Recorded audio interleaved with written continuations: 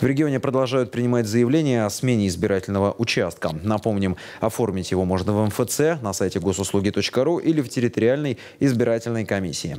Знают ли архангелогородцы о сервисе «Мобильный избиратель» и как к нему относятся, выяснил Виталий Барашков. Знали ли вы о такой возможности? Конечно, как.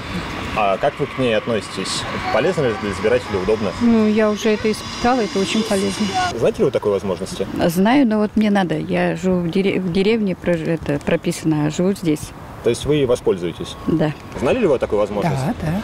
А если вы знали, как вы к ней относитесь? Хорошо ли, по вашему мнению? это? Ну, конечно, Чем? хорошо. Ну, а что, в любом месте можно проголосовать, если человек желает. Знали ли вы о такой возможности? Да, конечно. Ну, например, я живу далеко от города, а работаю здесь, мне удобнее здесь проголосовать. Хорошо, конечно. А- Это дает право всем выбора, да, и уехать, если есть необходимость. Знали ли вы о такой Да. возможности?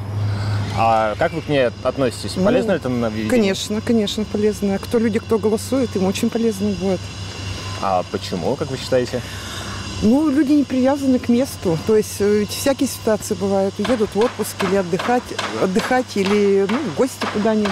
Да, сейчас реклама идет мощная, разъяснения тоже хорошие, особенно от э, областной избирательной комиссии и председателя в частности. Поэтому все ясно, в принципе, да.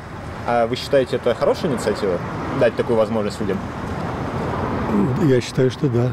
Для избирателей прежде всего должно быть, э, ну как сказать-то, удобно, а не для э, тех, кто организаторы. Я так считаю.